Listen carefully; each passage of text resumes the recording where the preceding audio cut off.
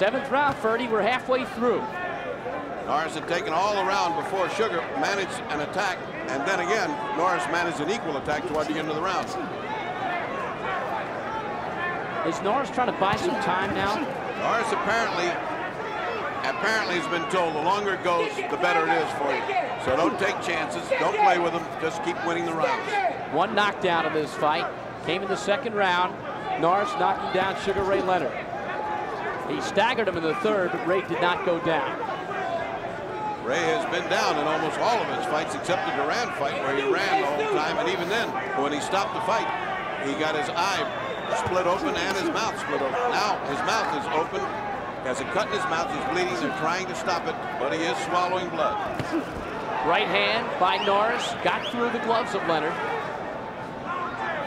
Leonard Leonard's corner's been pleading with him to jab, but he, Leonard cannot establish a jab, something that he is famous for. That's it. He's trying to throw a right hand lead. That was sloppy that time.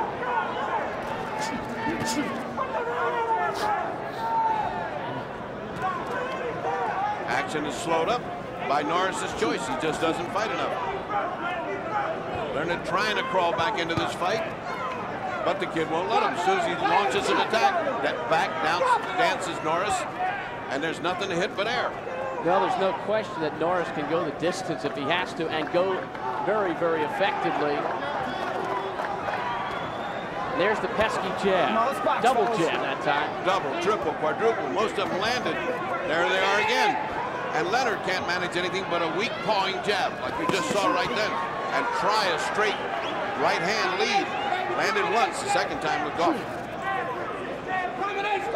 So a different Norris in the seventh round. More jabbing. Just out jabbing Ray. He's just out jabbing him. And it is the picture illustration of youth over experience. And now a hook as he saunters around the ring. There's a solid jab. goes down.